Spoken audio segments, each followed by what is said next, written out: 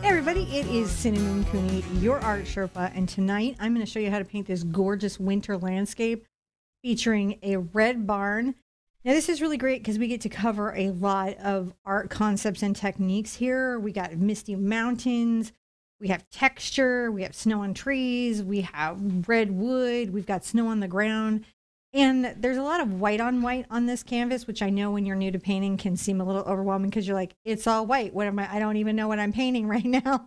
So if you're very unfamiliar with what I do, I teach art and I explain everything I do step by step. It's not a demo, it's actually a lesson. And I explain everything we do the materials, the techniques, the brushes, everything so that you can paint along with me at home. To help me do that is my husband, John. Hello.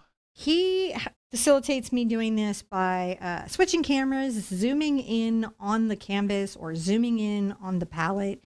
Uh, helps me see questions in the live chat. If you're here for one of our live streams and you want to ask a question, put that all in caps. I won't think you're yelling at me, even if you're yelling at me. It'll be fine. I don't mind. I don't. I don't I'm not that worried about it at all. Uh, so uh, Tamika Rawl says, Hello, John and Cinnamon. How do you get the mini books? you come on Saturday. So, right now, the 16 by 20 classes uh, have the mini books. They are on the website, on the video pages, or in the calendar, or in the files. Um, if you have a specific one you're looking for, you can uh, mention it here. And uh, it's possible that one of the moderators will go grab that link for you. I say possible because we have a lot of moderators out today. so maybe, Maybe. But we would love to get you the link, but you can always find it at www.theartsherpa.com. They're free. You just download them and print them out or use them as a PDF on your digital device. It all works pretty well. So today, we don't have a mini book. We are, however, dropping our, I'll get it in a second. We, I just dropped my towel. You should have a towel when you paint. A towel. We're going to be painting on an 8 by 8 stretch canvas. I use a little rotary um, board, a little circular go round, and it really helps me when I'm not using an easel, kind of be able to keep track of my perspective and different things on the painting. I have it taped down. I also have the colors cad red, titanium white, zinc white. This is optional. I put this aside because sometimes what happens, and I'm going to show you an area of the canvas. I'm going to do it wrong and then show you how to fix it on one little spot because I, I know what kind of happens to people when they're new. And so I'm going to show you a really cool way to fix that using zinc. Um, we've got CAD yellow medium, burnt sienna, phthalo blue, phthalo green, and Mars black. So it's a pretty limited palette. Um, and we're really going to be staying mostly in just a couple colors for most of it. We like to put wishes and intentions and thoughts and ideas onto the surface.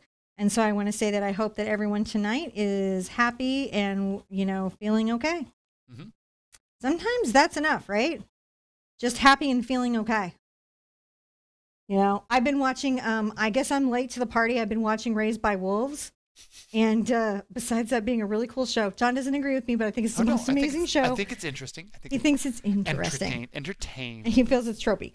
Anyways, I I think it's maybe a little bit tropey. I'm gonna put my paint to the side. Are you are you adjusting just, me? you know, maybe A little? in, tune in. A little adjustments. Anyways, what I've taken away from Maybe. that, taken away from that very long series, and I will share with you and how it relates to art, is that sometimes where you're at is special and magical. Like this planet we live on, it's pretty unique. Uh, I watched a bunch of YouTube videos on the 26 planets we could maybe live on, but they're so far away, we're never getting there unless we do a lot more science. So we have this beautiful place, and sometimes just being okay and having shelter and having food and being all right is just the most amazing thing in the world. Probably more so when you're on an alien planet, but that's what that show got me thinking about. If you raised raised, raised by wolves, my oldest son turned her Anne Herbert. Anne, okay, Anne. Sorry to shout your name, Anne. I'm totally tripping out that you watched it. I really am. That is not a show. I would have said, you know what I think? Because like we're friends on Facebook, and I wouldn't be like, hmm, Ann, I should send her this link. So I'm kind of just totally seeing you in a new light, going and watches Raised by Wolves. Mhm. It's Maybe- a, it's it's done by Ridley Scott. So if you didn't like Aliens, this would definitely not be your favorite series. you know you know what Raised by Wolves needed? Hmm. Vasquez. Um, Would it just- in love with the lipstick that I have on me. This is Too Faced, and it is Marcia, Marcia, Marcia, Marcia, Marcia, Marcia. Sorry, Marcia, Marcia, Marcia. Marcia, Marsha, Marsha, Too Faced. It was from that throwback collection that they did. I think they have these on sale on their uh, Too Faced website right now. All right, so let's put in kind of our beginning. Let's start out. Okay. And I'm going to start out uh, by measuring my canvas in half. I'm using a really cool tool here. You know, I had a, a wonderful colored pencil that I put right here and then lost. I'm going to measure at the halfway point and I'm going to make a line across the canvas. I'm not gridding. I am simply breaking into fours. On simple landscapes, you should be able to break the landscape into four quadrants. And as long as the structures and elements are not complex, that would be all you would need to lay it out. Now, if you print out the traceable or the reference, right, you'll notice that this is bisected into four parts. And what that does is let us sort of simplify, see scale, uh, get a sense of how the objects relate to each other so we don't over uh, amplify one element over another. Because that happens to us a lot as creatives because we're like oh this is the best tree in the universe and i love this tree so much. And you're thinking about the tree and the tree starts to change scale and become more dominant in your painting because it's super important to you and your right brain's like yes yes tree tree tree tree and then you're like i have, I have a little tiny cabin over here now because the tree took up my whole thing so that's a um, that is a thing that you can do to help you avoid that. Now, so if we look at our reference, you can see that Right, this is this your- tree over here is really right to about here, and it doesn't take up a huge amount of scale. And I'm going to barely sketch this in. I'm going to say to myself, oh, goodness, girl, I got a tree. I'm just letting myself know where is tree. The only item I've really got to pay attention to sketching in is the barn. And the barn, I picked this one because it's a gorgeous barn. It's got a little bit of perspective, but not so much that your barn is going to get crazy on you. Um, Sheila Harvey says, Does Cinnamon have different levels on Patreon? Yes, but nobody can figure them out. Oh, but we are not on Patreon. oh, sorry, we're not on Patreon. we have we're our on own. Patreon. Yeah, we, if you go to our website, theartsherpa.com forward slash patron, tr- spelled in the traditional way, you'll find our patronage where you can support us. And uh, yeah, we um, yeah, we, we we use our own system for many many reasons, but uh, Many reasons. many reasons. Many We've reasons is what John says. Many reasons. mostly to do with your guys' privacy and Yeah. our We like your guys' privacy. Yeah, and if you know, there's a possibility we could work at folks at Patreon, but they would we would have to work closely with them to make sure that we did some stuff right. We should do it right, is what you're saying? If if we were to work with them, it would take that. So, So you can see then, I can sketch in this cabin. By the way, I don't expect you to draw. I also provide traceables. They're free. Little things to know, and I actually, I'm catching myself doing a thing. If your roof line up here is coming down at this angle, your roof line down here probably should be coming down at a very similar angle. mm, Just a little bit on this side of our roof that's going down at a similar angle is a horizontal line. And then we have an adorable, another little cabin roof.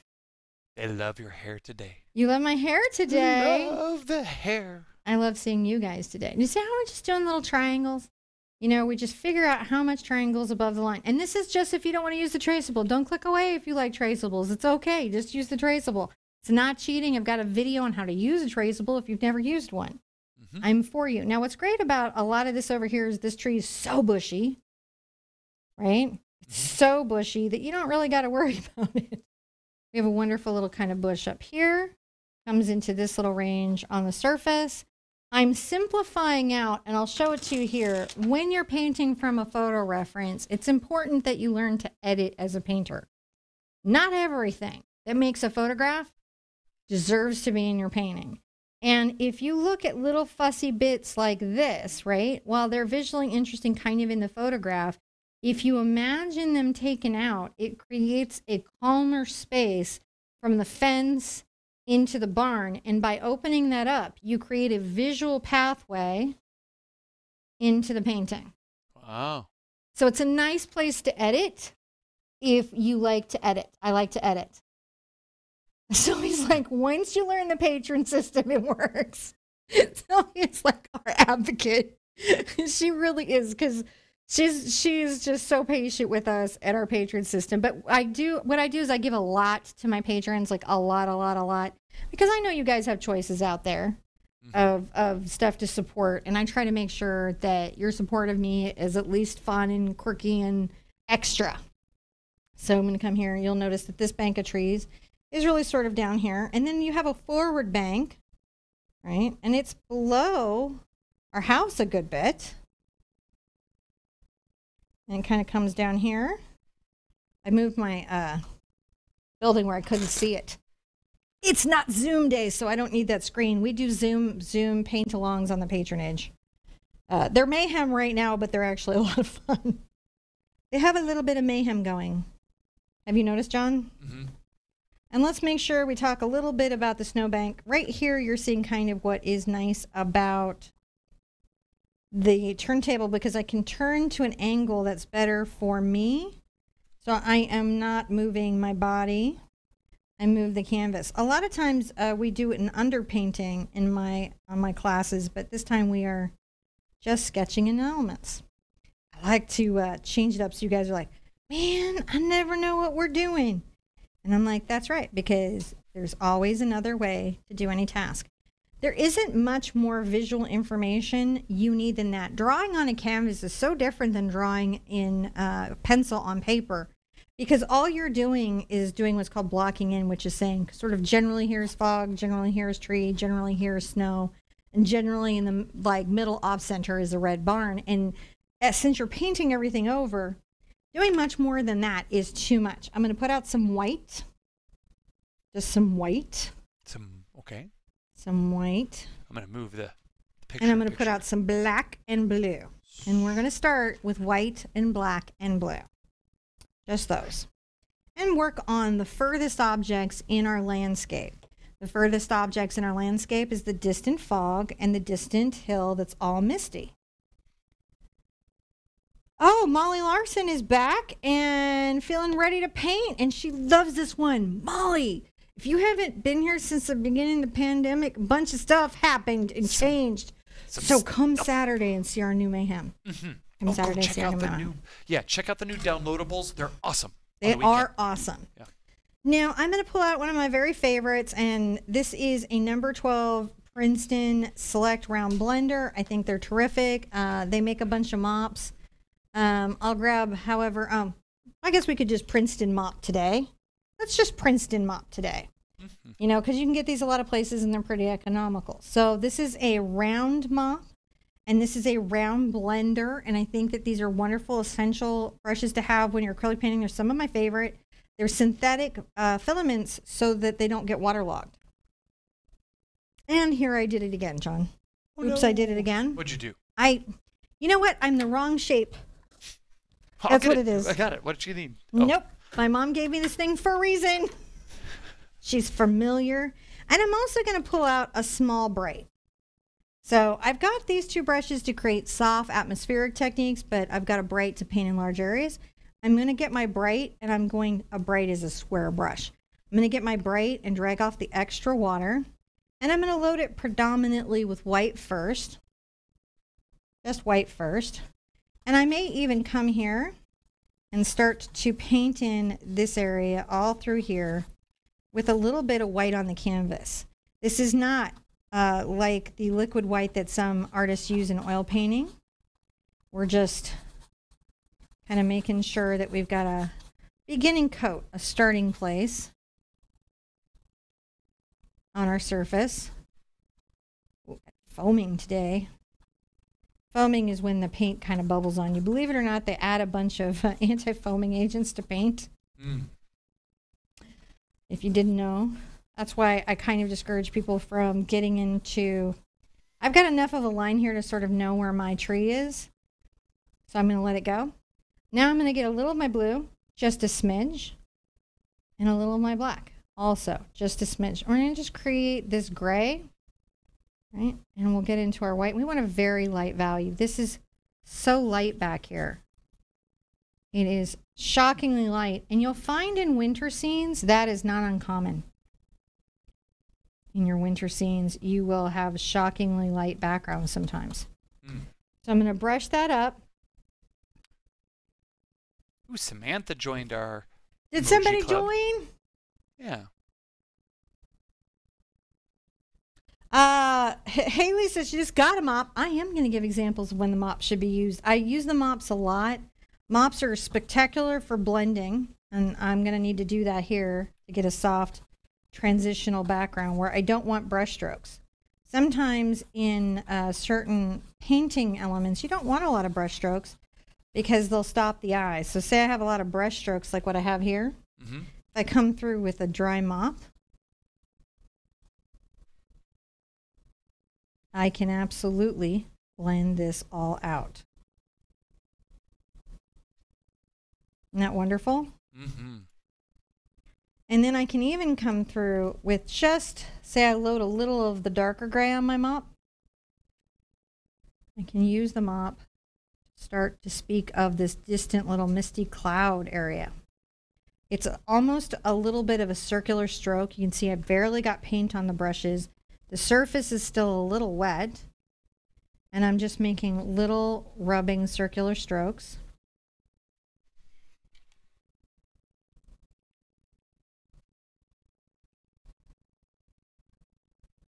Just pulling that in and getting that first dust a very light mist. Mm-hmm. It's not it's there's not a lot of mist there. It's not Stephen King's mist.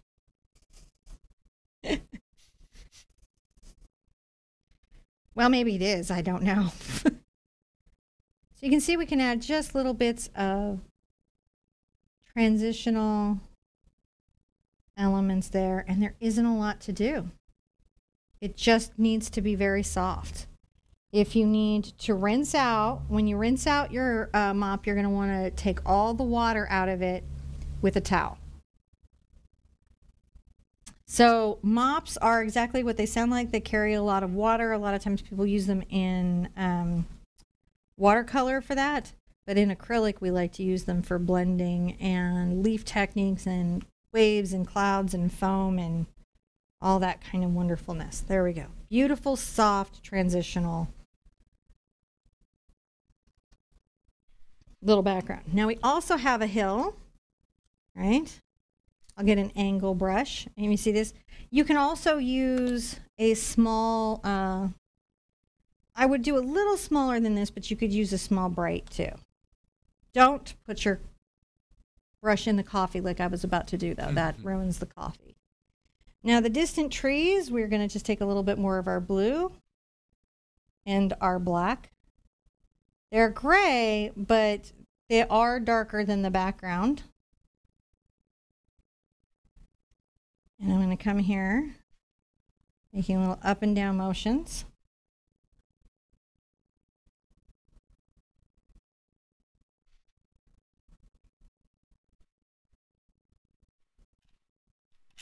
And I'm implying this is coming back behind this cloud there. Mm. These little up and down areas are like little trees. You ever done these little ups and downs? Come across here. Everything is still wet. But if I come through with uh, even the mop again,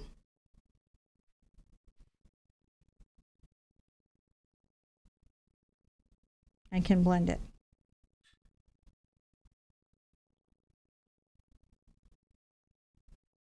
into the distant little fog.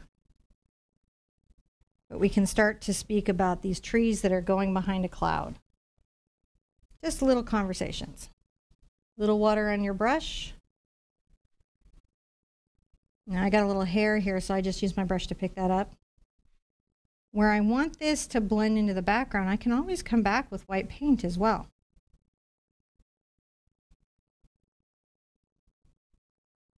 I'm just grabbing a little bit of my white paint and water when needed to improve flow. We're just blending this. Mm-hmm. We want this to be soft and in the distance. Just brush that down a little. A little more blue and black.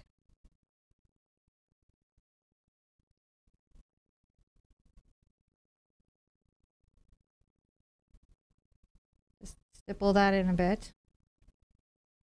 More little trees. These are a slightly darker value than those behind them. Get some a little bit too dark. And I'll dry and show you what you can do if it gets away from you when you're trying to put it in the mist.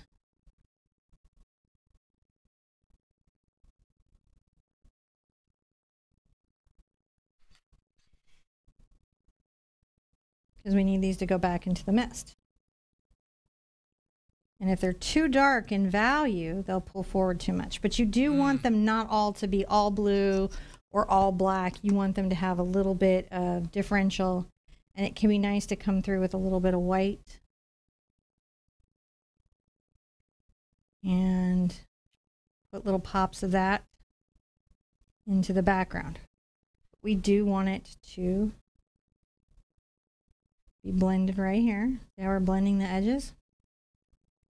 And I'm going to come here with some white. And I'm still using my angle brush. And I'm making sure that this mountain is lightening back up behind there. This really is a fantastic winter scene.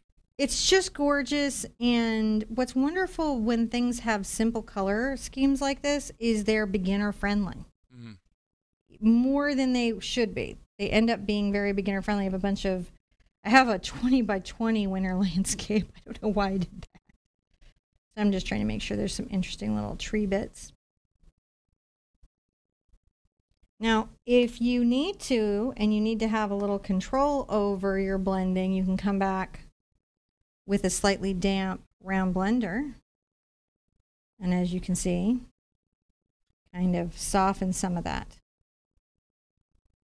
into the hill. Things that are far away will tend to have soft edges. Now I'll show you what happens. Let's say you it gets away from you. And that's an easy thing that'll happen when you're new to painting. Is it gets away from you. If you have a tube of zinc and if you're going to do a bunch of landscapes, I do recommend it. You don't have to have it. I just you can uh, keep like lightening it with the white doing what I showed you. I just want to show you this other technique just in case something goes wrong. So, you just got to make sure you thoroughly dry between those to make sure that you don't uh, drag any of the Hmm? wet paint. Just making sure you thoroughly dry between doing that so you don't drag any of the wet paint. Yeah. So this is zinc white. This is a transparent, low tinting white. It is not uh, just a thin titanium white. Titanium white's a wholly different pigment, and they perform a little differently. Zinc white's really actually kind of of a much older color. Um, it got a little bad rap with oils because it crazes, but it doesn't do that in acrylic in any way. So I've just loaded up a little of the zinc white on here. And I can put these back into a mist very easily by glazing. That's whenever you put a transparent color over something. hmm These items, look at how they get pushed back. It's just a little bit. If you get an edge that you feel like is too sharp or there's too many brush strokes, you can come back also that way. And I can come up from the bottom and even create almost like another layer of cloud or mist. I'm just using a round blender and I'm just doing a irregular circular stroke and I'm trying to not make um you know the monolith? The one in England where they put the swirly patterns. Don't do that. Oh, it showed up somewhere else. Mhm. Showed up. It sh- it just keeps showing up. You're not following the monolith, you must It's- join us. It's a phenomenon. phenomenon. If YouTube gives us another emoji, it might have to be a monolith emoji. A monolith emoji. So can you see how we pushed that way back into a mist? It looks almost like a watercolor, but we've done that with acrylic, and we didn't. Stro- uh, what do I mean? Kathy Wood asked a really wonderful question. What do you mean by crazes? I mean glazes. My mother told me to enunciate, but I didn't learn. So a glaze is a transparent color or uh, a layer of color over something that's dry underneath. You can do it in watercolor and acrylic and in oils. You'll hear that term in all three. Um, but in all of them, what they'll have in common is what's underneath is stable and dry, and a transparent layer of paint or color goes over the top. Works in any of them. Gotcha. I teach watercolor too. I don't teach oil. Hmm. It's not my medium. That's okay. It's not. By the time I like it, a tube of paint is six hundred dollars. So I realized it's not for me. No, that's true. Like by the time I'm excited about oils, I'm like Michael Harding. It's a six hundred dollar tube of blue. I'm like I'm over it. I'm the. I'm going to continue to bring down a little white, fresh white here, because we've got another little kind of run of distant trees, right, that are happening a little closer, so they can be a smidge uh, more defined than these back here. But again, we're just stippling the little angle brush up and down. If you're painting at a table, I highly recommend that you use short handled brushes. Because then you don't poke yourself in the eye. And you go, but your official art Sherpa brushes, these little suckers have very long handles. When I designed them, I painted almost exclusively diesel. Mm-hmm. I'm working on something new.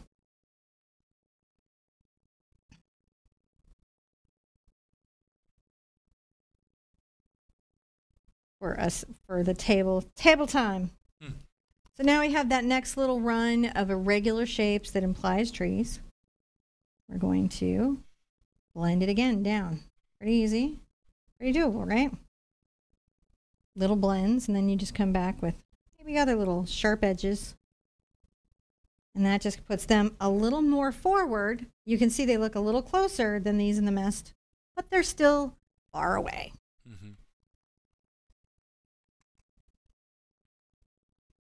I am then going to paint in what's the next layer. Interestingly enough, the barn is the next layer. So let's put out some red All right. and some yellow. Hmm. You looked at me? I'm just looking around. You're just looking around? Around? What are you doing? Don't look around. Just so you can look around. I'm going to keep using this little angle brush. Sometimes when I get into a brush, I'm going to take a little of my black into my red. If you watched how to make brown, you already know this is a great way to make brown.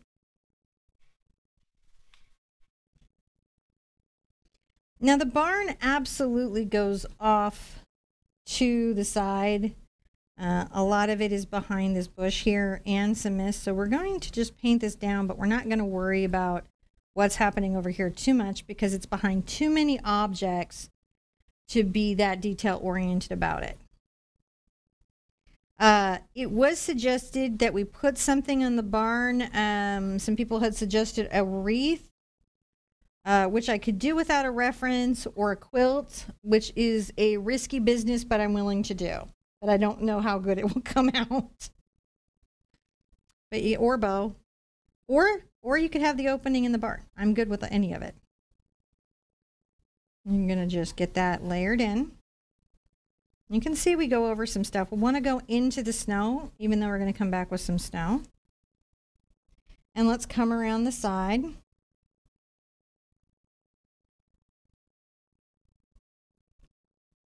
With some more of the brown and red coming around that side.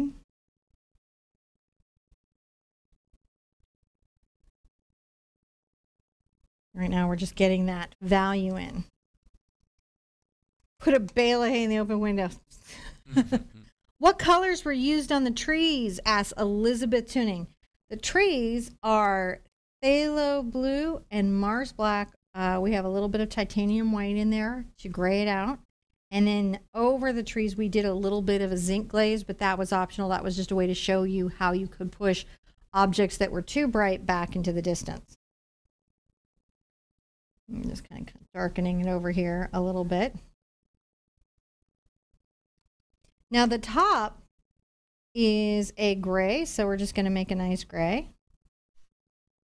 Right? Nice gray.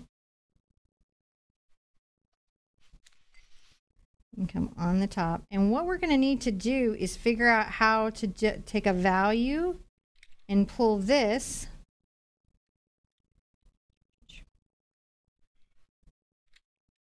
from the background. Picking up some of my red, but that's actually to my advantage. So I'm not going to fight it. Because I'm wanting to make it seem very slanted down.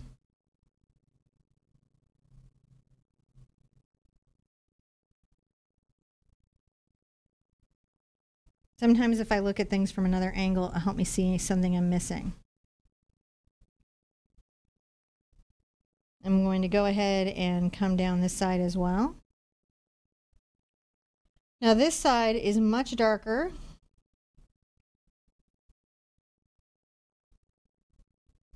So it's much easier.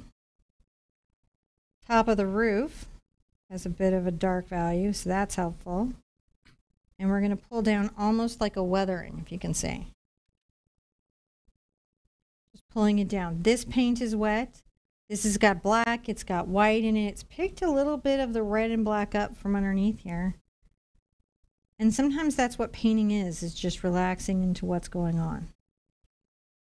If this side of the barn gets away from you, rinse out your brush and just come back with a clean damp brush and you can see you can trim it up. Trim it up. Now I'm going to come here on the edge, sort of just tap a little bit of the black along the edge.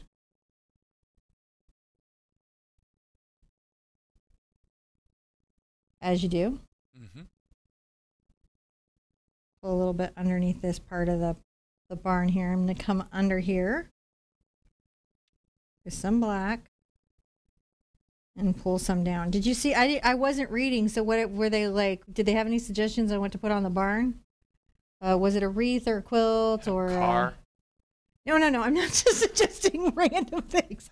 Do you want a bow or a wreath or a quilt or just the opening with like a light? I don't know. We'll see what you feel like as you get there. just a car. A unicorn. I mean, it's anything. It's art, so we can put anything we want in the barn. You could. We're not decorate it However you like. You could put a horse in the barn. We could put a horse in the barn. But if the barn door's open, it may be no point. It's true. These would be little distant horses, because you have to scale them to the barn. Mm-hmm. We're going to add another little layer of the red. And we're noticing that we're pulling these colors down, even if we brighten them up a bit. Like I add a little more red on this mix and I'm pulling them down. We want to do this because that creates the sense of weathered wood that's running. Mm.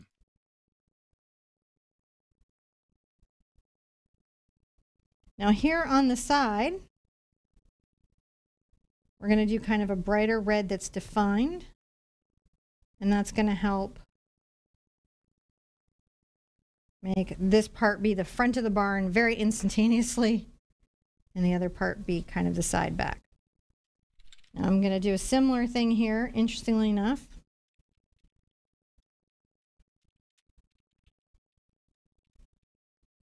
Similar little color scape, and I'll put another little roof on it.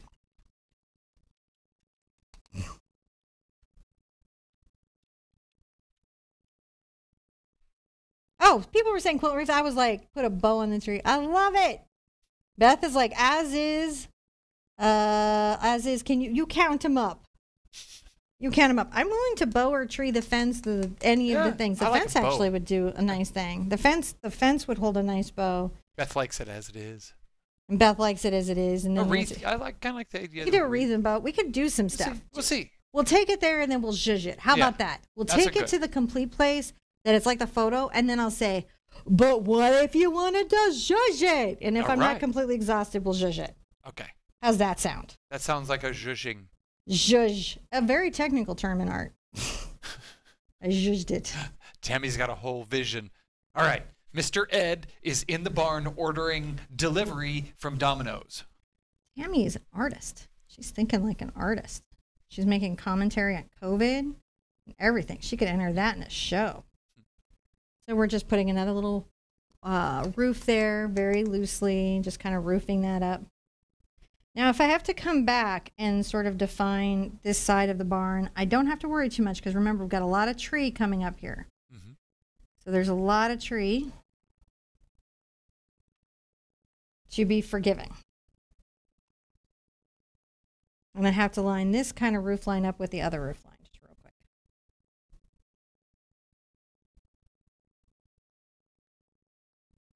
See how they're kind of the same, same, same? That's what we're trying to do. Same, same, same. Mm. Annette says hi, John and Cinnamon and everyone else. And uh, Candy Williams is like, what about uh wait, I'm sorry, Patty Hoffman's like, Mr. Ed uses DoorDash. All right, guys. We are doing so good. This is so weird. It doesn't think anyone is there for me. it's like you're alone. All right. So we get this kind of general sense of things in, and it does need to dry. And while it's drying, we can paint in certain things. I am going to want to dry it with my hair dryer, so any like other things that I put in won't really show. So let me dry real quick. All right. Real quick. Get that dry layer so you can do the.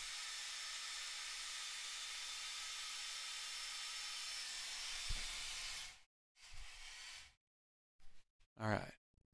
I'm going to take a little bit, uh, I'm going to go along my roof line with a little bit of a gray mist. I take my black over here and I'm going to deepen my mist for a second. I'm using my zinc, my number 12 Princeton round blender, and Mars black. What we've got going here. And we're going to just along this roof line sort of deepen the mist. And we're going to do that so that I can make the roof line much whiter. And I'm using my zinc so that I can make this soft as if it is part of, let's get a little blue into that and a little gray. A nice mist color, right? Mm-hmm.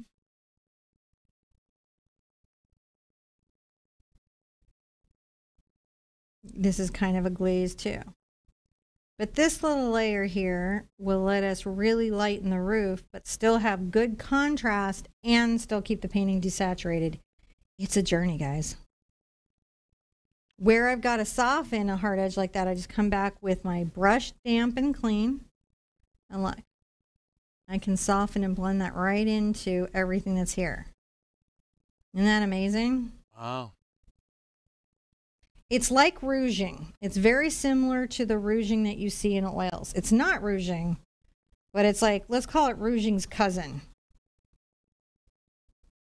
Rouging is um, pretty much what you think it is. It's it's deeply dusting in a color into your surface to tone it one direction or another, kind of like on your cheek. Oh my goodness, Patty, thank you. He she says that you did a, a the color shift PSA and shifty colors. You know, it's so funny because Golden was like, you know, because believe it or not, all the art companies watch all the YouTubers because we cause them so much trouble. and I think the last time they were talking to him, they're like, you know, color shift on Golden Paint is not that bad at all. you But seem very concerned, and we want to assure you that we don't get deep color shift. We just acknowledge it as an art thing. And I'm like, yeah, we weren't saying Golden has color shift. We were just saying color shift happens. Color shift happens. Shift happens, guys. I don't know what to tell you.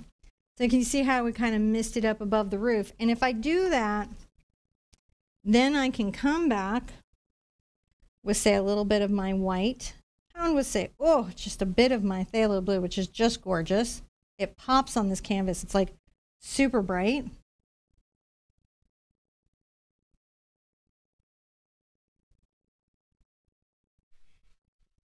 And come here to the edge because I want it to have a nice edge. I can put a little snow.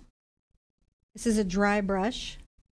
And I'm going to turn this this way. I just want to be able to very lightly drag my brush on the roof. Mm.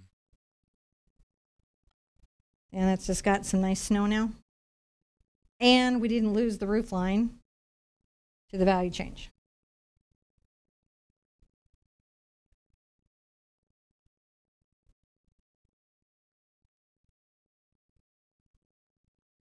I'm going to do a similar thing here.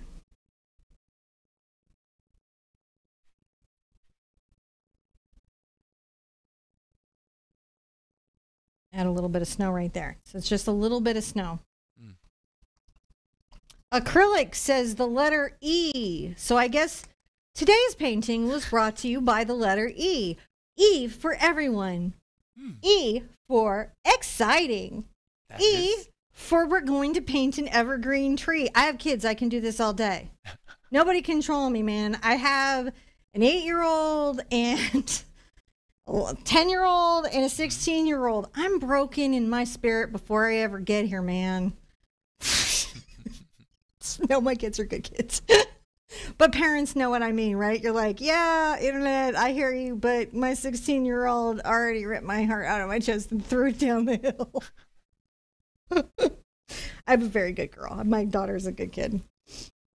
Uh, okay. Um, uh, at Tammy Edwards says, "LOL." OIC Patty Hoffman is using our custom stickers. This is the benefit of channel membership: is you get our little band hammer stickers. But but Carrie Swear says, "Hi everyone, jumping in late. OMG, your hair rocks," and she's sending me love hearts. I love it. Let's create a deeper value back here. We're going to take a little bit of our uh, black and our blue, and we're going to come here and put in some deep value, kind of low, because I've got to put in this tree.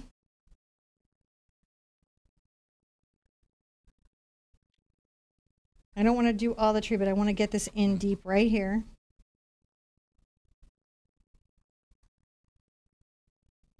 And I'm going to then blend up with a white so that when I put the tree in, I will be like nice and blended and it will be transitional. See, I'm just using the brush and creating a little bit of atmospheric perspective. Mhm. More white. Creative Girl of Color with Daniel B says teenagers are special. They are, man, I I love my daughter and she sees the world in a way that's so fresh and amazing. You know, I'm just worried sometimes that when she rolls her eyes up in her head that they may not come back. I think that's something that all, all, all I think my dad talked about that experience with me. Yep. When he was talking to you, he was like, they don't, they just roll their eyes. You just can't stop them. It's true. All right. So this color here that you see me doing is really about making sure that when I put the tree over everything, which I'll, it will really cover most of this, that there's a nice value that it pulls. So if there's any little branches showing any weird way, Mm. we've got uh, nice stuff underneath. Now I'm going to take my white and a little of my blue black. It makes kind of a gray, a blue gray. And we're going to come here in this initial kind of range and bring this down here. And I'll pull that forward. We're going to pull some snow forward. Snow is very rarely white. The winter landscapes do tend to be desaturated Mhm. and often are beautiful, stark black and white expressions of, of value. It's really quite amazing. But you can see as soon as you get that front thing in of snow, it starts to immediately feel like snow. And that's about the value. That's your brain going, What? It isn't grass. Uh,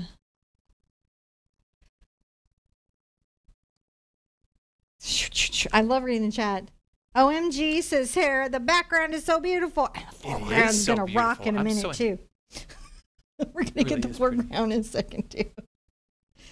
Now I'm gonna take a little bit of my red and add some little yellow to it. I'm gonna come along here. This is all gonna be very dry brushing. I'm dry brushing here and I'm going to just dry brush this down. And this is going to help me get this weathered wood effect. The wood here is several uh, like colors. If you look at it, it's super colorful. Mhm.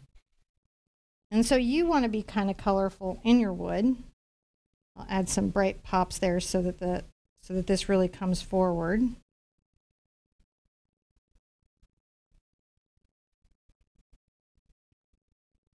And I'll do a little bit of my black and red again, just making sure I have a nice dark red for the weathered area over here, but it is just as, you know, considered and everything.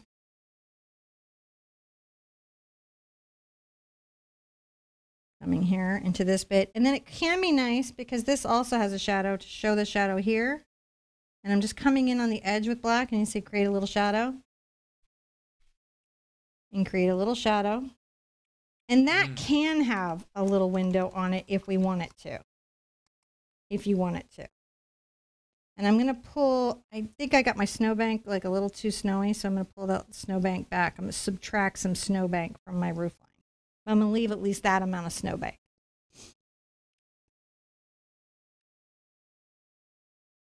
Uh, Cinnamon, do you have a favorite blue for snow shadow that's pretty much the bomb every time? I- Indanthrone blue. I don't use it on the show because it's a really uncommon color and it very rarely comes in sets. And I know a lot of people get gifted sets like the first time they come paint with me. They got that set of 48 something. Uh, And so that isn't always in there. Uh, Prussian blue can be really fantastic. Um, if it, I really like phthalo blue and gray as well. So there's a bunch, there's some options. But if you're talking about like just a straight blue, that is a crazy blue. It's so deep. It's like the deep of space. It's the deep of Arctic. It's just wonderful to have in your in your paint thing. mhm. Uh, oh, okay. So Janine, hi Janine, says background is gorgeous. Came in late. We'll have to rewatch beginning. My 16 year old teen's first driving day on a real road. I may not recover. We're all with you. We're all with you. I'm Yeah. almost okay. So like, no, guys, I'm not glad that COVID happened. But there are moments when I feel kind of good about COVID because when my daughter was like, "It's time for me to get driving lessons," I was like, "No, it's not. COVID." All right, I'm gonna get some black, and I'm gonna load it on what is a number two bright. This is long handled. I'm using this brush because it's going to let me put in some squares without working too hard for it. Hmm. And I like to sometimes have squares where I don't have to work so hard for it. Now let's get in here. This is kind of like a gray weathered wood. And we're going to say, all right, right here.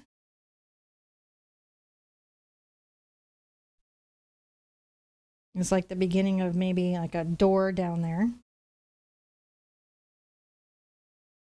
It was just the black and white. We're just dry brushing it down. And that's going to give us a bit of the uh, the sense that, oh, there could have been an opening. Because these probably slide to the side if I see the runners there. Hmm. They're slide to the side kind of a thing. Maybe uh, do another little kind of. Always interesting to see like the little openings on a barn. But I think up top, yeah, I'm going to do something else. I'll do something else.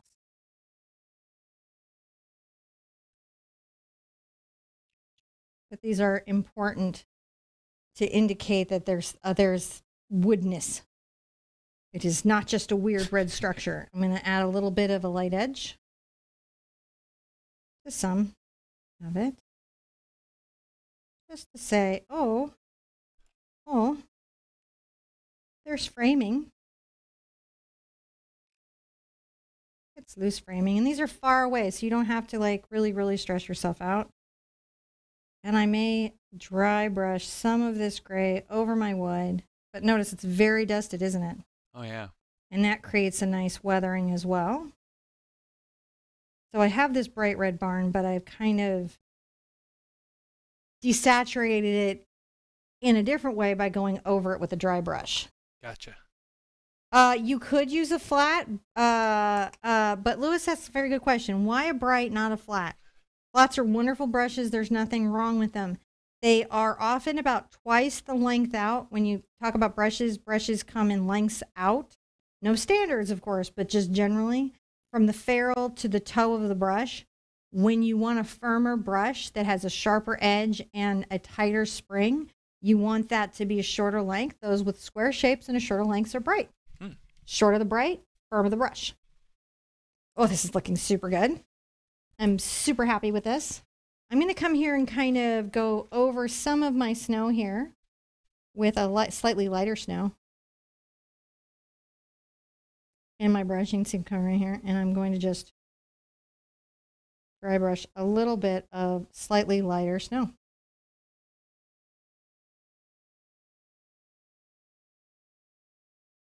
It's not a heavy, and it's got a bit of blue in it. We're not doing white. We're just making sure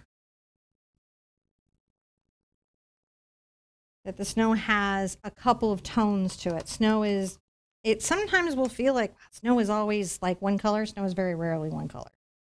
Snow is a lot of little values of different hues and colors. Just when you think you have a handle on the snow, it says, no, you don't.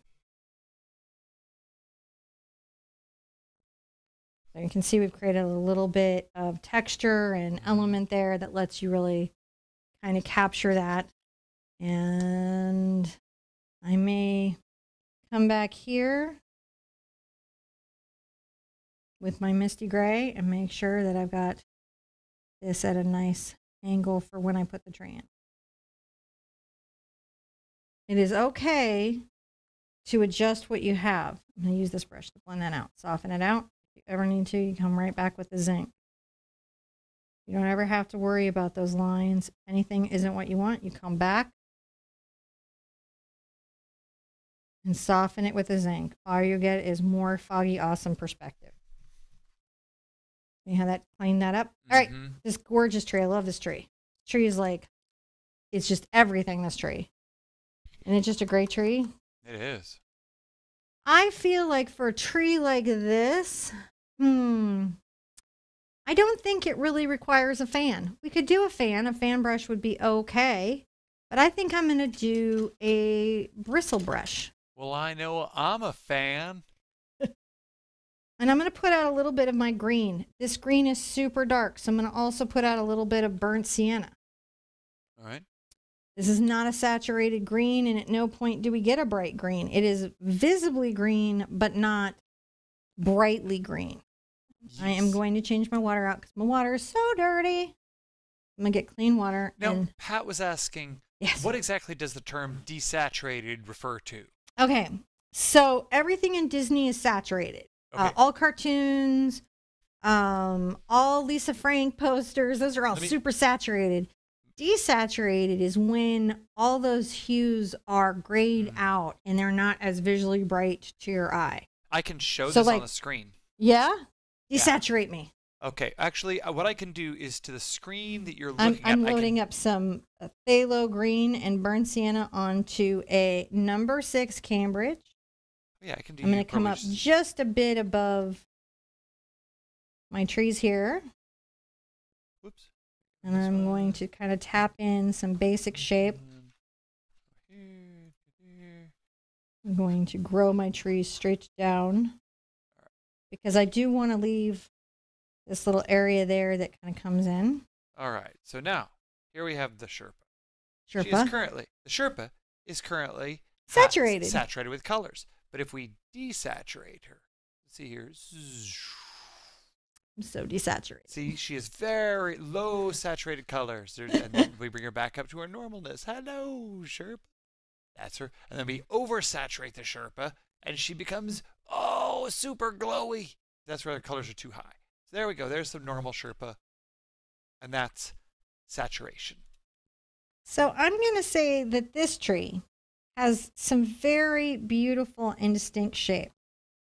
And so I'm going to make a little effort to kind of maintain some of that because it's such a unique tree.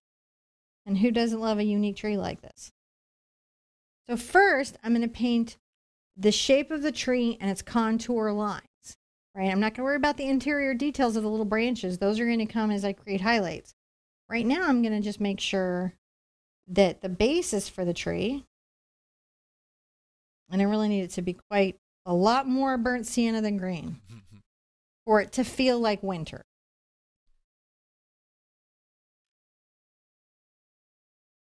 And these here, these are kind of wonderful. Like if you look at down here, like the branches are really over this part of the barn. So you know where those are going. And they even come in front of this. And down here. We've got a nice snowbank that we're going to put up in front of it so we don't have to worry about the skirt of the tree as much. Some of it comes right off our surface over here, doesn't it? Mm-hmm.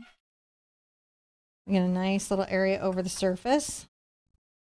I like this. And come down. See, I'm just doing these little downward little jabbing strokes. You can see the paint on the brush. Burnt sienna, phthalo green. It's not it's not complicated. Paint on the It's brush. just about knowing what you're doing. Now, the tree itself had this wonderful sort of inward area where it was very light on the right side, and that's where we saw like a lot of the green.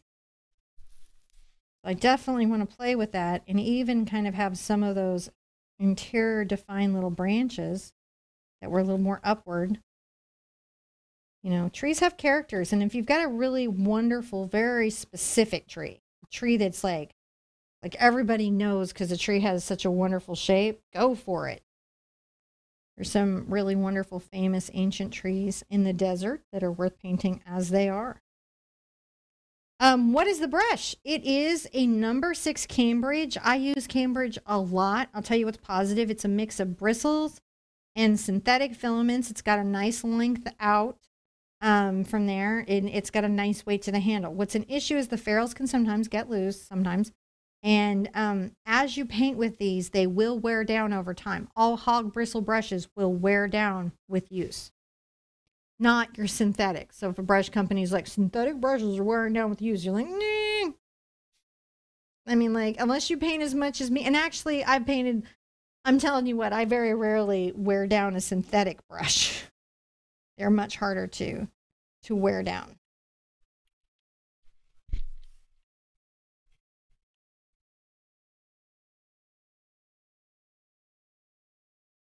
So now we have this great shape of this wonderful tree, the basis of it, and I'm going to make it quite dark. I'm going to make sure my paint on here is ample and deep, and reeds is a very deep color. It'll have a slight green read to it, but it is going to be reading is a very deep color. Right? Because it's winter, Mm. and as winter, it cannot be bright. That's looking wonderful as we get our little tree in here. And you just, you know, fill it out where you need to fill it out, right?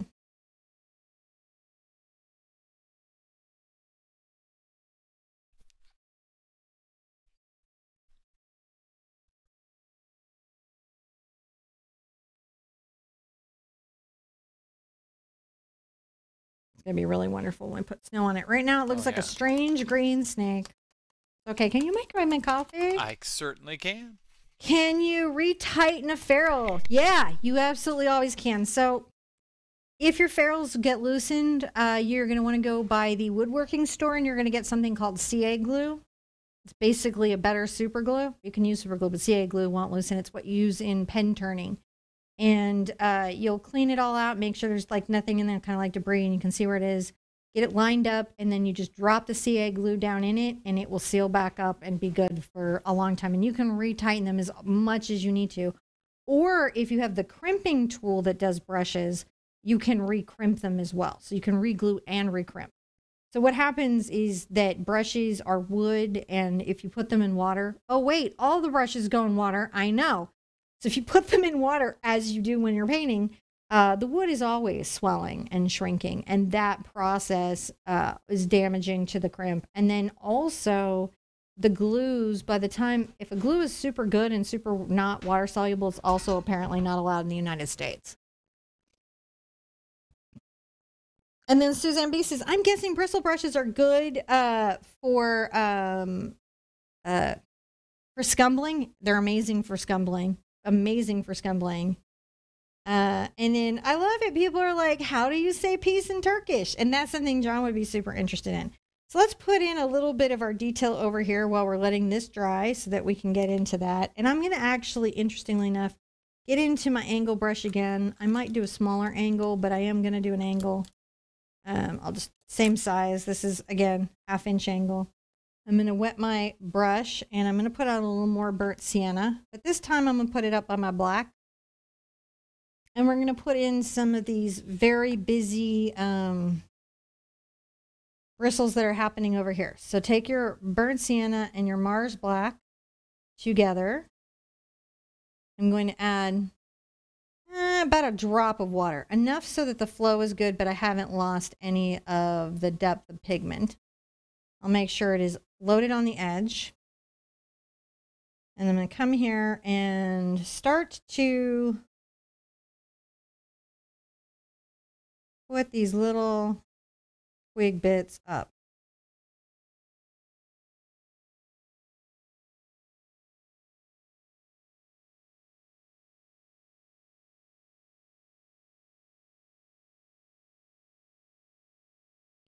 You can absolutely zinc this back if you want to, but it's a very busy bush. So it takes a minute here to get enough layering.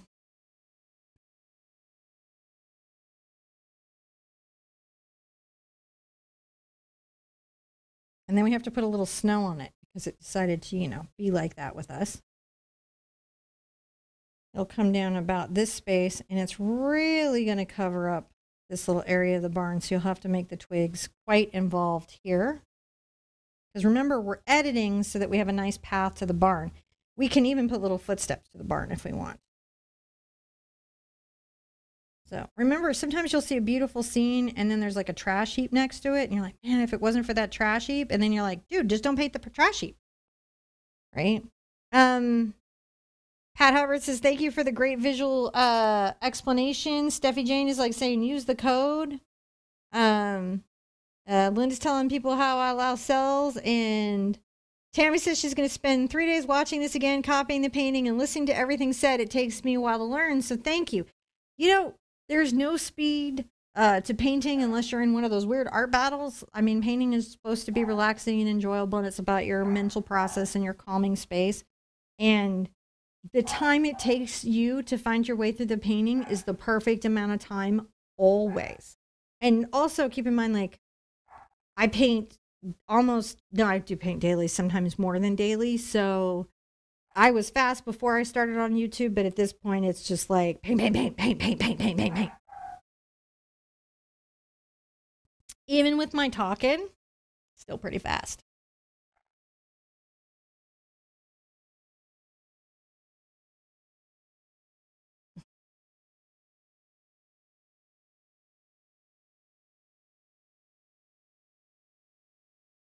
Make sure that some of this kind of comes around here because I want it to be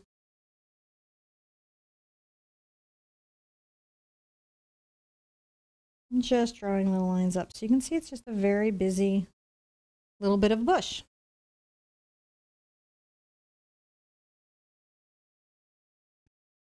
Now I'm going to take my just burnt sienna and add another little layer of bush on my doggy barks. In the background. Everything is good. You can see I'm just filling that in, but now I have a couple bits of dimensionality that's going to help this bush feel very, very worked out. And then when we put a little bit of snow on the branches, it will really, really pull it together. The other thing you can do is you can then, when you have that basic kind of push in, you can take a small detail brush. This is a number one detail.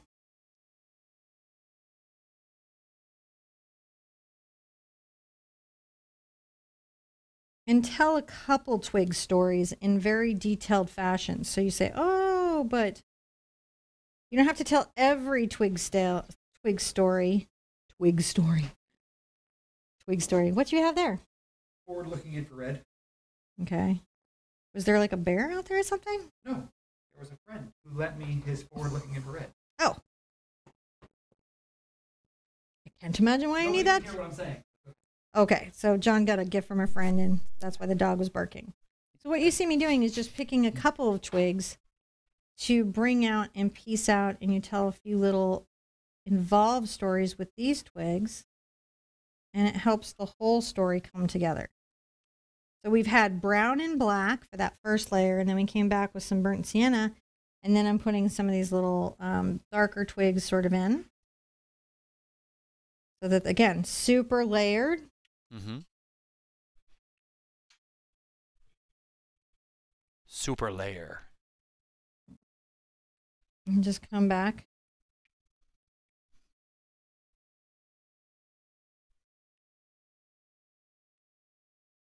And add those details. Where details will help you tell the story, which is what you want. We're going to let that dry so we can come back and uh, actually, I might add some to the top here. I'm going to turn this around. Oh, we can't see it. I can't turn around until John comes back. Um, so I'll, I'll do it here. And when he comes back, I can turn it around.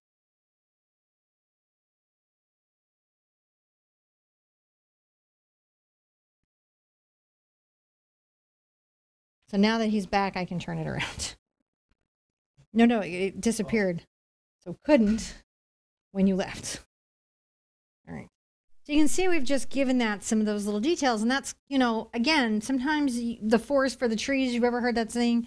Well, when you're paint, you gotta you gotta find that space, and sometimes you'll see all these like lines, and you're like, oh my gosh, I've got to paint every little line as I see it, instead of realizing that there's a texture and there's an essence to it, and you don't have to paint every line as you see it. You can paint them uh, differently than that, and it will be okay. Now, on the snow, I will want more control a little bit. So I'll want a smaller brush if I have it, i- or I'm going to work the corner. I guess I'll work the corner. I don't see my small. Oh, maybe. I have a couple of these, and you can see I have this one just a little bit smaller. Sometimes when you're doing snow, it's nice to size down. It is. It is. I'm going to load up a little bit of my blue and white together again. Because again, is a bit not pure white. And this is an example. See how the ferrules, Oh, it's wiggly. yeah. Doesn't hurt anything.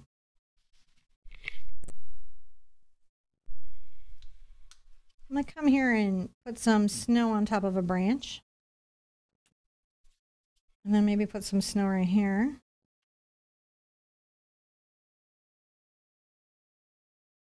These don't show unless they are, unless they have the shadow underneath them, right? Mm. The shadow trees. They have some shadow. They have to be a different value than the background. I got too much blue into there. Oh, thank you, Jenny. Jenny. Thank you. Jeannie. Jeannie. There it is. I have to get close enough to read it. And see how I'm pulling that down on those little branches. Mhm.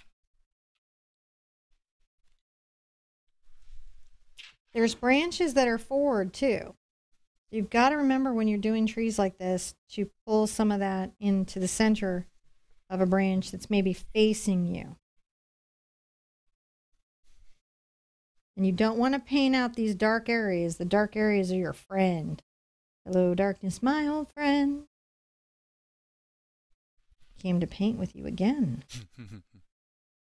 Because without darkness, there is no light. Tell me that's true in life as well. But I'm going to beg to differ. I would like to try living with no darkness for a period of time. No evil, and see how that feels. Do I miss it? I don't know. Philosophers are like, it is only through the pain and suffering and the evil of the world that we see the good. Yeah, you know, I'm willing to give it like a minute. Let's just do no more evil for Let's just, you know, a week and see how we do. How about we give it a year? How about 2021? We just go all good all year. Just 2021 is the year of of no evil, none, and it's just good everywhere, and and and, and, and, and happiness and health and doctors and prosperity for everybody. I would like that. Knocking on wood, so I don't do anything to 2021. Don't blame me. yeah. So you can continue to really put the snow on the tree here. And you can see that as I find these branches, well, I find these branches.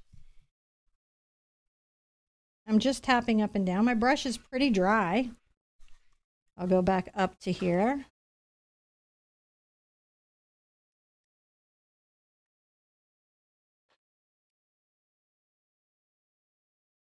Sometimes you got to get some blue.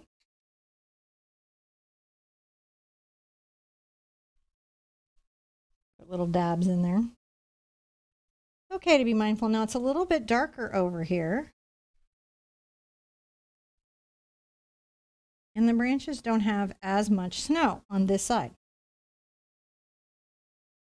Like if I come here, I'm going to just put a little, little, little arc of it, but it's not like all of it.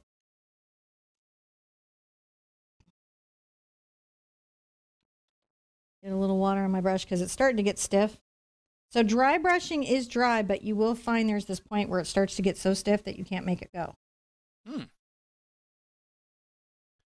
You have ceased to dry brush and You've you are now ceased to sticking. dry brush. It's called sticking. yeah, it's now called. That's a very good. You've ceased to dry brush, and now you have just found the range of sticking. But we do want it to be darker and greener over here because I thought that was another nice element of this tree. Was how that far side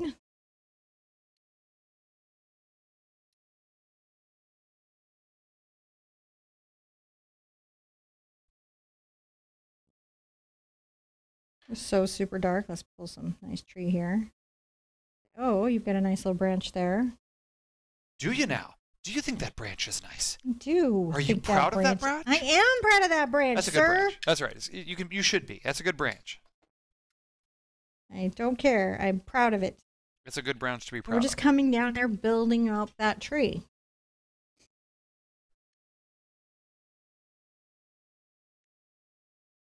Irregular little shapes, stippling up and down. And you can see how my brush is just kind of stippling up and down.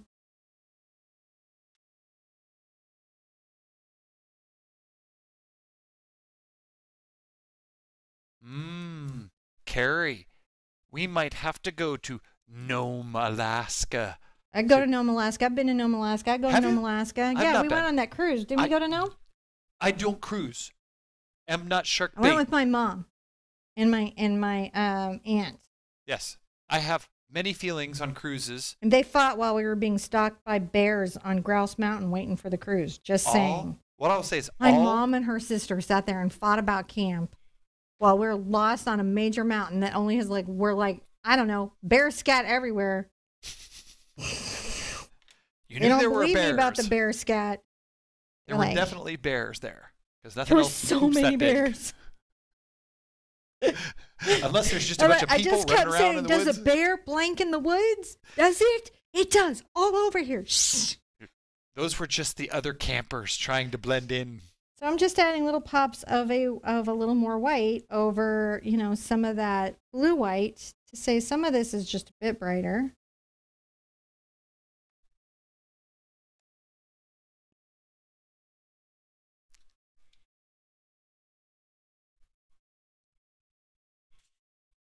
Here we go. And a gorgeous fat little tree. Let's make it a little bit fatter maybe. Mhm. We can fatten our tree up.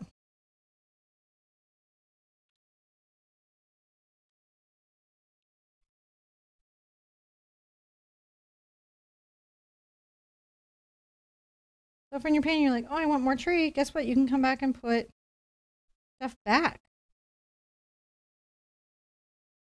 You want a little more.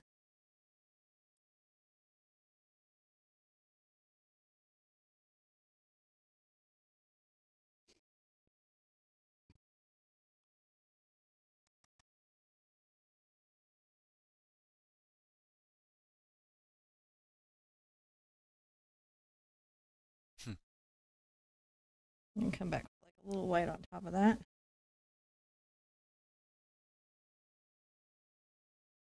That's a good looking tree. It's a good looking snowy tree. It did its snowy tree thing. Let's come back over here. Remember, we talked about using some fluid paint On the sticky tree? on the sticks to make the sticks stick. I'm gonna push this out. If you don't know what this is, this is ti- golden titanium white fluid. It is fantastic. I've even got my mom addicted to it. It is the best. Amazing stuff. Um, however, if you can't get it or it's not in budget right now because we all know COVID's going on, craft paint will do a good alternative and be a little easier on your budget. I like um, of the craft paints, I like Deco. Yeah.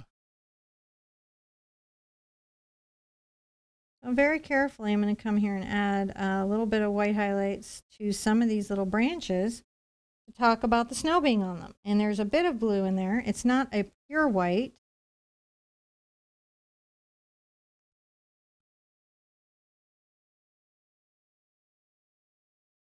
And you can see that that comes in and gives that sense of, oh, Oh, there's snow.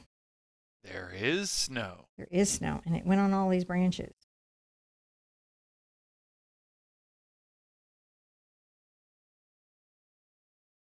I'm gonna come back and put some snow on my branches. How snazzy. You snazzy.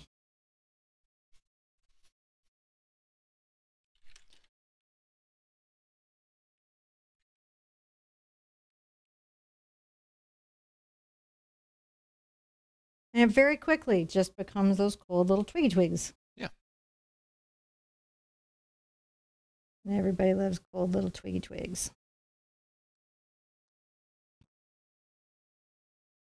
Now I'm going to take a little bit of black and come right here.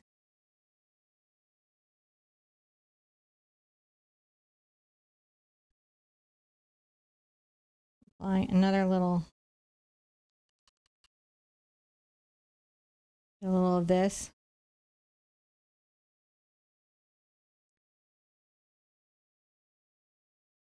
These are very small. Ooh. Those are little footprints. Little footprints. Because right now, nobody's here. But somebody was there. Somebody was here. And if I put in footprints, then I got um got the another little snowbank. So these are tiny footprints. Are they coming or going? We don't know. And I'll even probably come back over them with a little bit of zinc so that they are super diminished. And then when we put the bigger bank here, we can put some more considered little footprints. So it's actually rather fun if you like that kind of thing, which I do. You know, I'm going to come back and put back in my fence. Oh. Remember my fence? I drew it remember the fence. And I don't know where the thing is that I drew it with, so I may have to freehand my fence in. Guys, I'm gonna have to freehand the fence in. It's just gonna be it's just gonna be like that. That'll be okay. I'm gonna take a little of my black and brown, but mostly black. And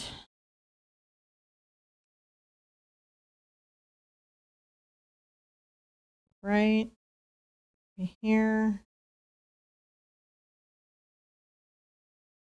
And in some fence.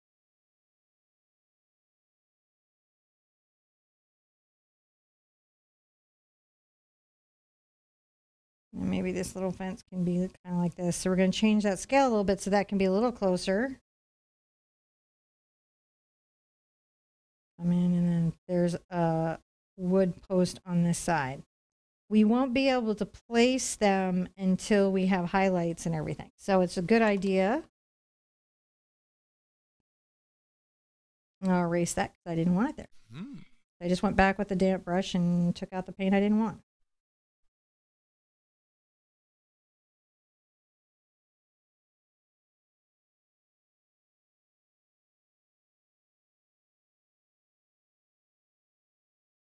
Make this a little bit darker there. Well, maybe not.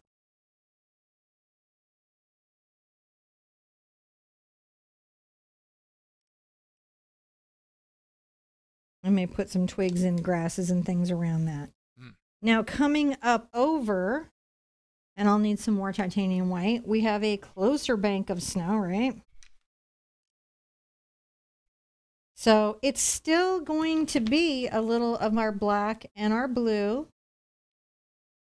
and a lot of white at first.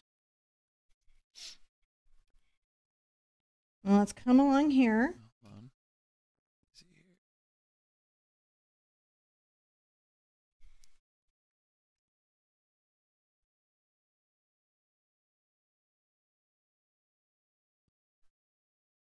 And let's start paint this little bit of snow up front. We'll need to come in with a white highlight to make any of this really show. And little bits of grasses. That's a good thing. Let's add a little. I do think the bush right here was a lot of fun. This weird little bush. So I might take my little detail brush and give myself a weird little bush. What do you guys think of that? I think it's good.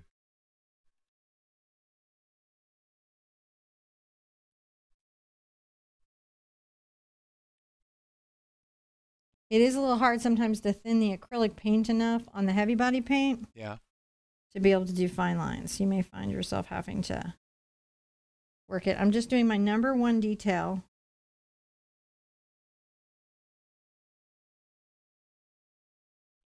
And we're starting with like the major structures of the bush. We're giving it some major structure.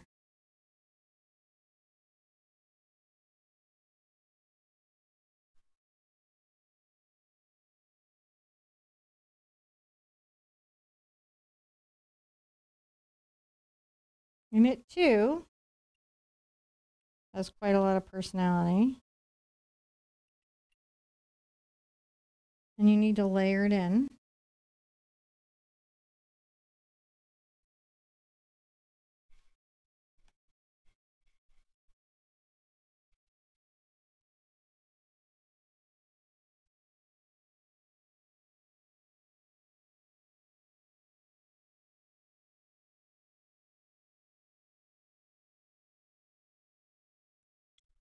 All right, get a little bit of a bush going there. And then I'm going to come back with a little of my white paint.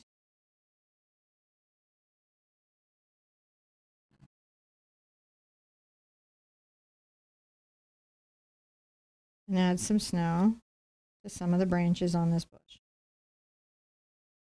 That's a titanium white fluid. It being thin like that does help in this task. You can do it other ways. It's just helpful.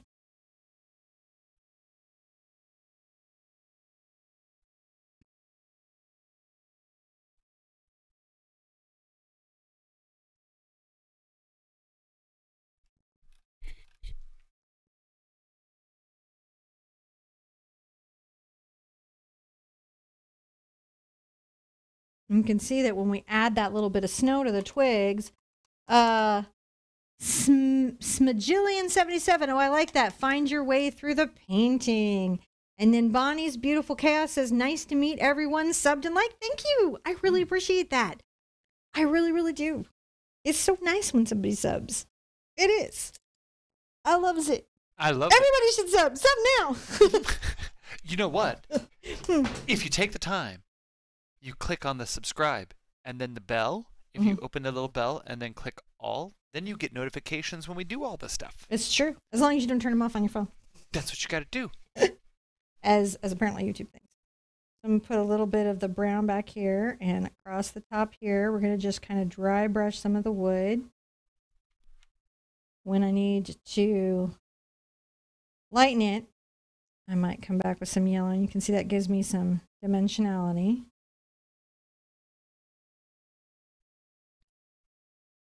Dark value underneath. For sure between the fence posts, right? hmm and coming up. It's nice just to give it, see, it's just a little bit, right? Yeah. Maybe a little orange and a little brown. Orange and brown, very powerful.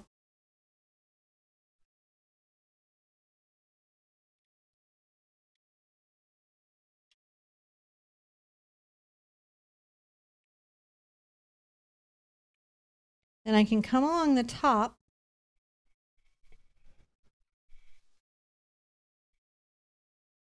And I'm getting a very light blue.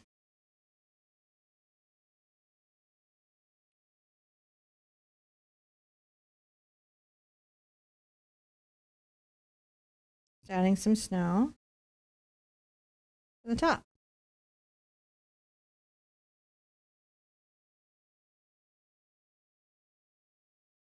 Of that little fence. It's also a nice idea while we're here in our browns and yellows and oranges and things. This is cad red, cad yellow, and a little bit of brown.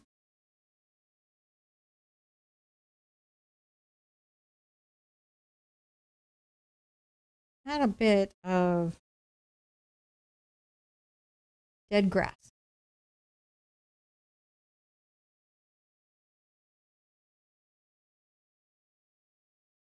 Ooh. We may need to get to some black here and thin it. What's ooh? Could be dormant grass. Dormant grass? True. It's gonna come back. And come back. It's got spunk. That's just what you'd expect to grow along a fence. You'd expect that. You would. And take a little bit of white into my yellow. A little bit of white into that yellow orange mix. And get some highlights on some of them just to make them more interesting.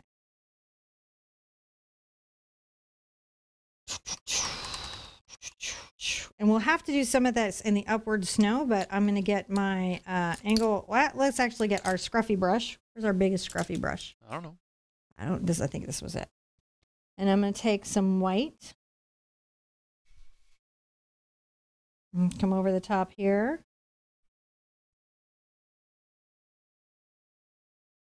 Oh, is there a reason you didn't put the the hayloft in? Uh, yeah, because we were talking about doing um A a, wreath. wreath, or Oh. something. We can put the hayloft in, So the hayloft doors may be closed. and I may and I may do that. I haven't decided yet, so while I'm waiting to decide, I didn't want to put the black on. Mm. Probably I'll put it in and put something below it. You're contemplating. I'm contemplating it. This is rough, and I, I actually don't mind when it's built up. It's zinc, but I'll still use it. And coming right here. It's nice if this is a brighter white against the tree Mm. that it's in front of. Come back here because there's a kind of a shadow.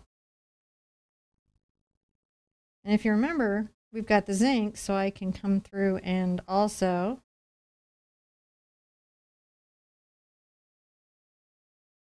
add some rough snow. Lighten it up a bit. Using up some of this dry gummy paint that one gets when you've been painting a minute. Have you guys noticed the dry gummy paints? Mm. It's okay that it can get thick. If you want to put a little shadow into the snow, come back here. Add a little bit of a blue area, and that'll push some of that back. I think I'd also like to kind of imply that there's a a bit of a depression maybe here, coming along here. Because again, we talked about a path into our painting, right? Yes.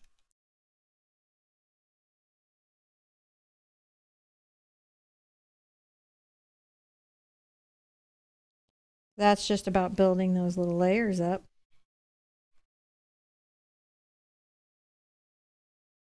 Blending that in if it's if this is a slightly darker white, even just slightly darker white, it starts to create an embankment, it starts to create a little pathing in, which actually I think is kind of fun.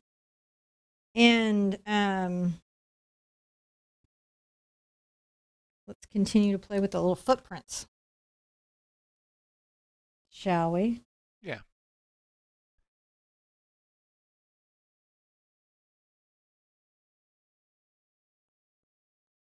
Maybe go a little more blue with them.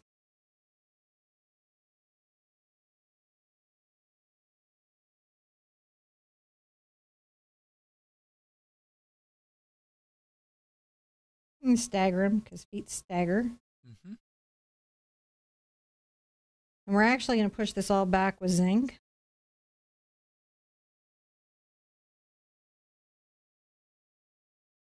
And the scale of these footprints to these footprints also makes the barn further away. Yes. But we do want to wait. And the wonderful thing about snow footprints is, is they're kind of just holes in the snow. So, unlike beach footprints, for which you do kind of need to be foot savvy, these Mhm. not as much. But we are going to knock these back with a little bit of zinc when we're done.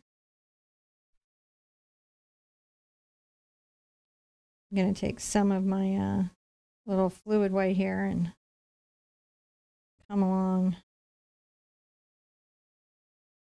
kind of some of these edges. Just make them a little bit uh,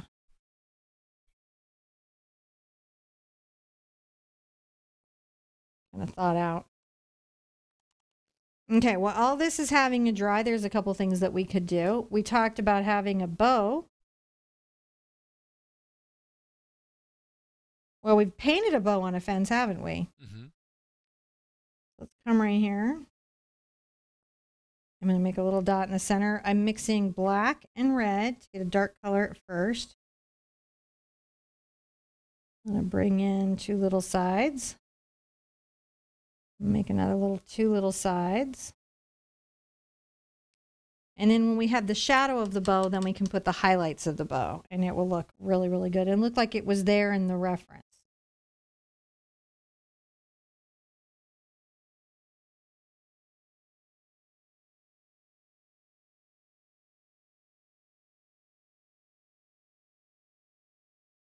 Up and down and flick, and that kind of makes those little tails feel like they've they've caught some wind. Mm-hmm. Let that dry for a second because we'll need to add some highlights for it to feel like it's a thing.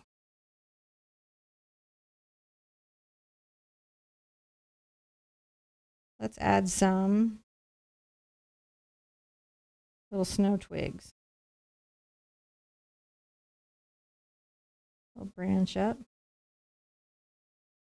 What's wonderful is these are these are just broken little bits, right? Mm-hmm. And then I can come here and oh, there's some little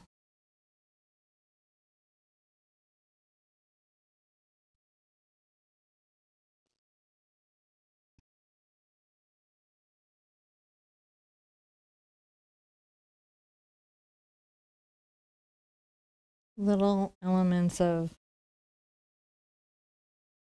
Little shrubberies. yeah, and it's it's sometimes a good idea to add little dark elements to the snow. Little like a little rocks and things that are quite dark.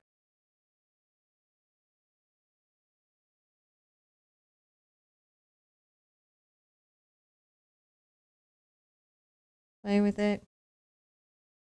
This also can help you say, oh, this is a path. Because paths tend to get overgrown in summer. Mm-hmm. So playing with that can help get that there. No, I like the darker better. Gives a little more.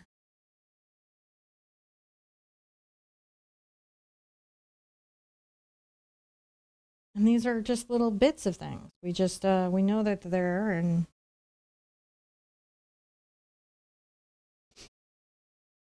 Now I've got a little bit of zinc, so I'm going to take it. I'm going to take this little number two bright. I'm just going to grab what zinc I has All right. and push those back. See, so they're there, but they're far.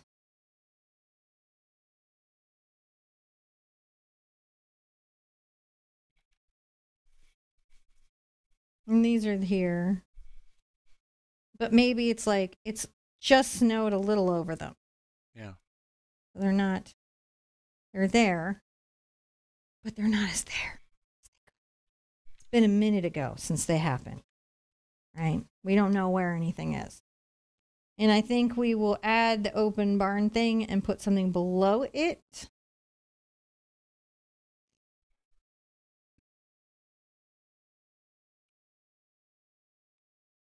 Goes right across the top here. And down.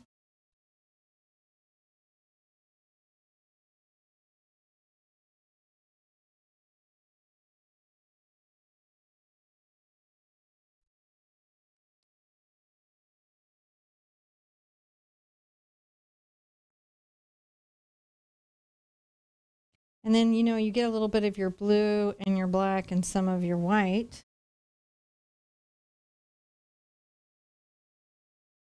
Just make sure that some of that is framed. Mm-hmm.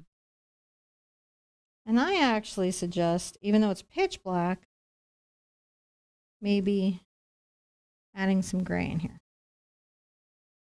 As if this is, yes, this is dark, this is pitch black, but it goes into a space that has variable lighting.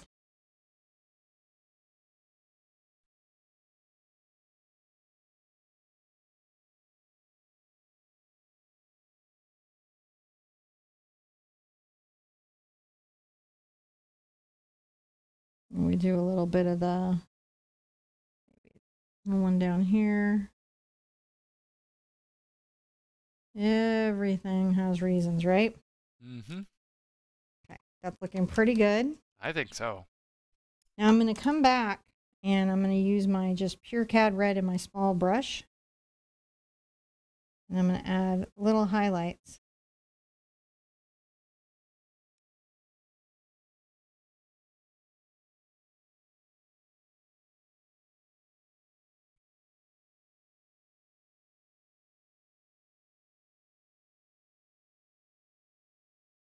To the top of our bow. And let's put some on the ribbons. Mm. See how we have a little bit of that going? A little bit there on the ribbon.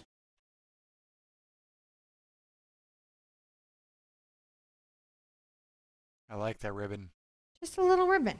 Yeah. And, you know, hey, we have the paint to spare.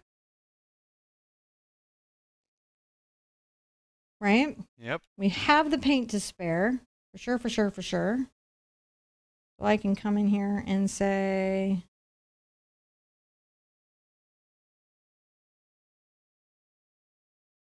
I might want to come right like Oh, this. Yeah. I'm going to come in because we're zhuzhing now. Yes.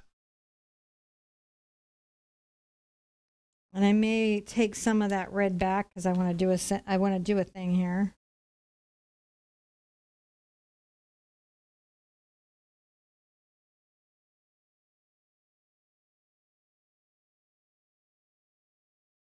I want this to really feel like a circle. So maybe there are windows underneath there, but I think I'll have those be hidden. That makes sense. Mm-hmm. So it's just your brown and your green and my detail brush.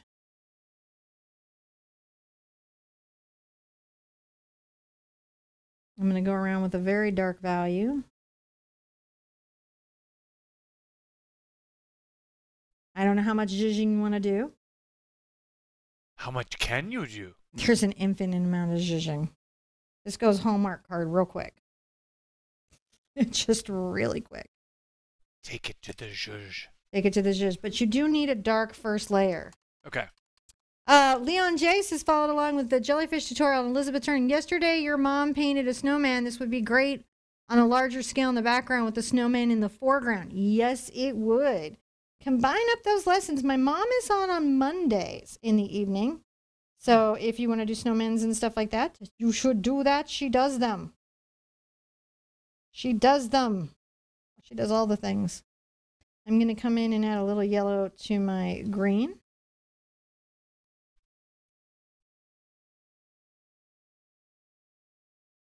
And paint some small highlights on these uh the barn greenery.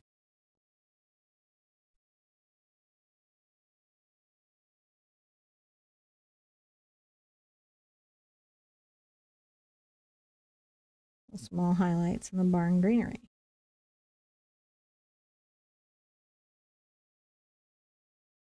And then I'm going to dry it so I can do more zhuzhing. I like how they pop up. Yeah, they just come out of nowhere, don't they? Mm-hmm. Yeah. Who does, that's nice, right? Now, I'm going to dry this, and you guys take a look at this because I'm going to show you how to make it look more welcoming. Yep. Especially when using the whites, just make sure you're. Oh, that's what we wanted. Make sure that we get the thoroughly dry before you add your next layers. Yes. So, one of the things is if you ever watched Bob Ross, um, one of the distinctive things, if you look at his collection of work, is that the lights are always off on the cabin. Man is not here. If man was here, he's not here today. But let's add a little bit of our CAD red and yellow to some of the area up here.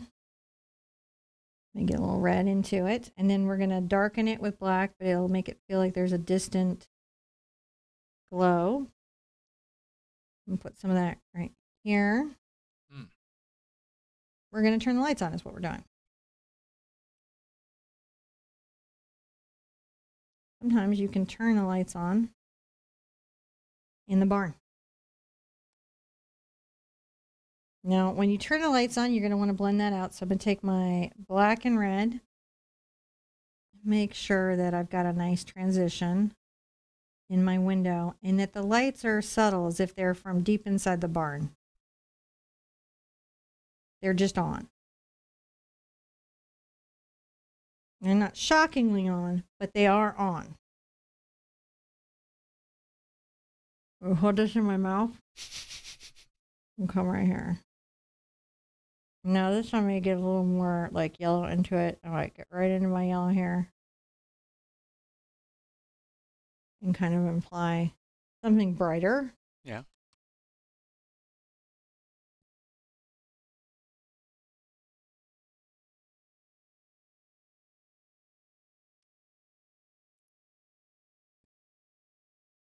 And then I'll kind of blend that out with this little corner.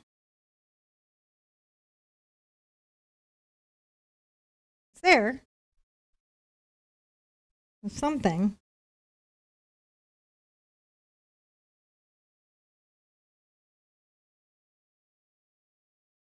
This one we will go around in black. We'll take our detail brush with our black.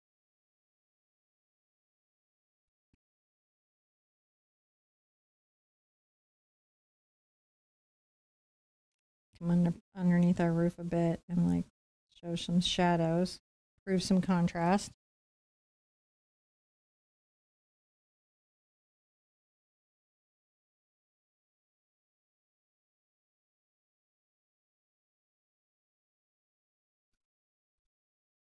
Okay.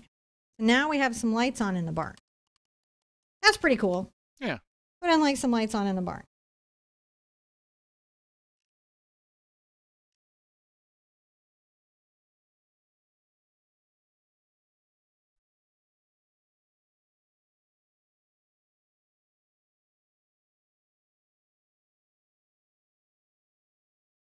We're going to get some zinc back out. I'm going to show you another little trick. Okay.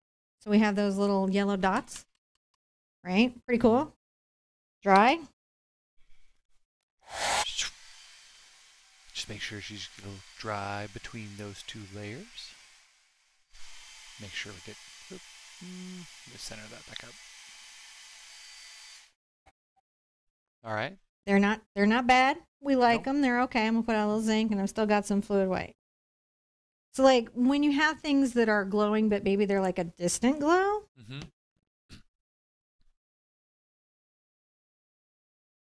I take some zinc and a little yellow, and I'm using this because it is a bit transparent.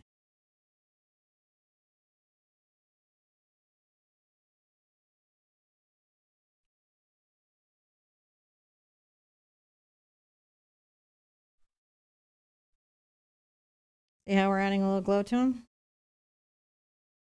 But they're Oh wow. transparent enough.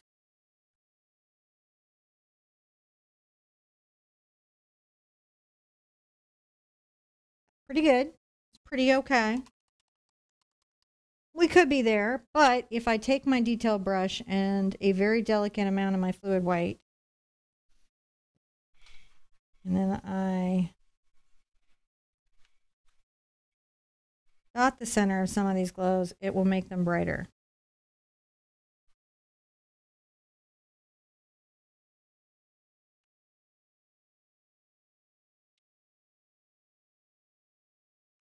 Now you've got that wonderful, wonderful kind of brightness.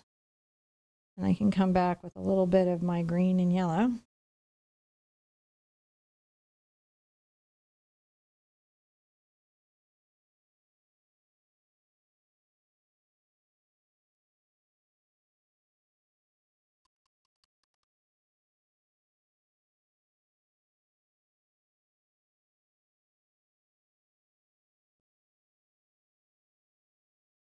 And some little dots of red.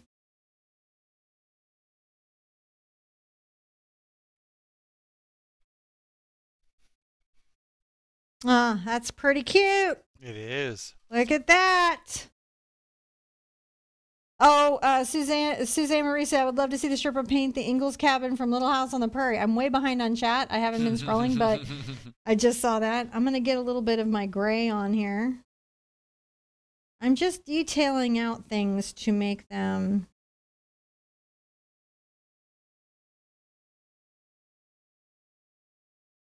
a little more This really is beautiful. Everybody thinks out. this is looking really, really good. So, you know, you can take a scene like this, right? And you can, you know, do do a landscape. You can do like a really like this is the landscape and this is how we landscape, right? And that is super doable. Making sure that this has a nice kind of little line to it. But you can come back and add little bits here and there.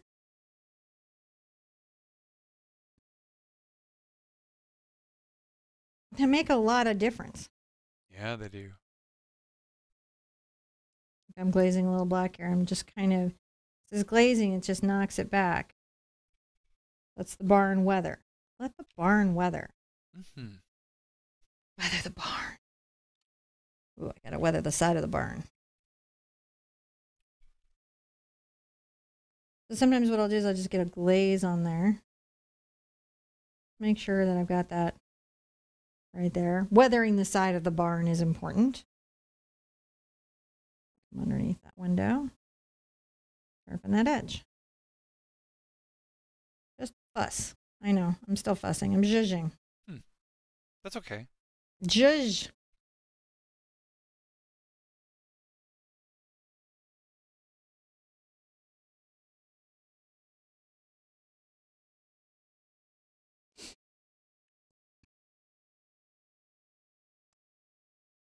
You know, um, come back here and you can look and be like, if you want to put like when you're here, and if you're like, you know, I want a few more like little trees, as you might, hmm get my thing. You can always come back and make sure.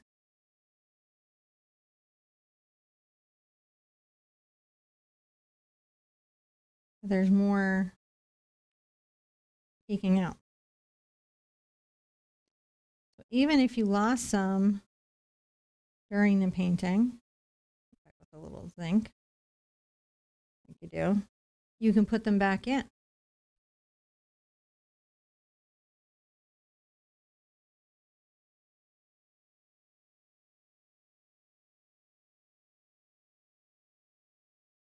As much as you want, as deep into the hill as you want.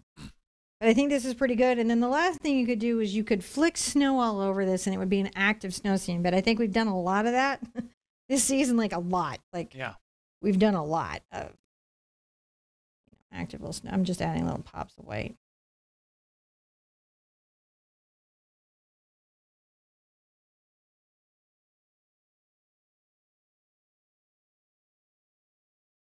Sometimes you can make a footstep look a little better with a bit of.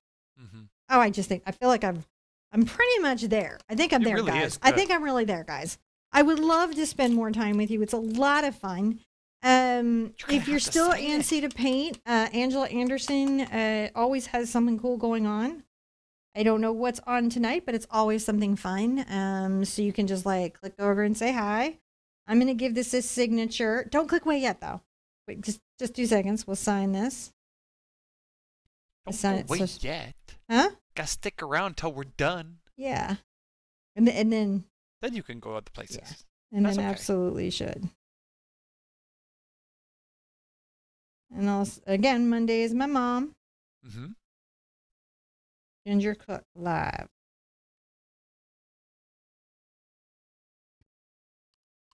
This is our. Oh my gosh, I love this scene. I just saw it in Thank the. you, Carrie. Oh, it's such a oh, nice. thank you, Carrie. Truly another beautiful and inspiring piece. I look forward to painting soon, you guys, for your commitment to helping us learn to art better. I am, you know, um, I'm very blessed to get to grow up in art, and uh, I love being able to share that blessing with everybody. And I love being able to share moments like this with you guys.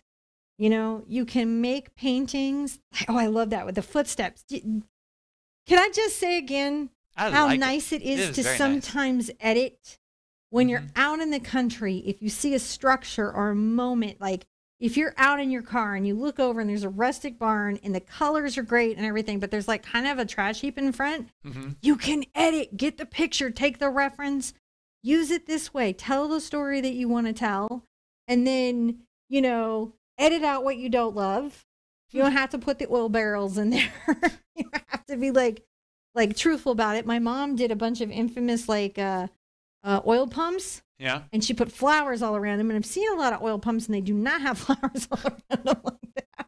But you know, it's your painting, and you can make it be what you want it to be, and that's important to remember when you're painting. Be good to yourselves. Seriously, be good to yourself. Be good to each other. And I want to see you at the uh, painting this Saturday because we're doing the Christmas stallion. And he has a twist and surprise that you can't tell yet from the thumbnail. Ooh. I'll see you at the easel real soon. Bye bye.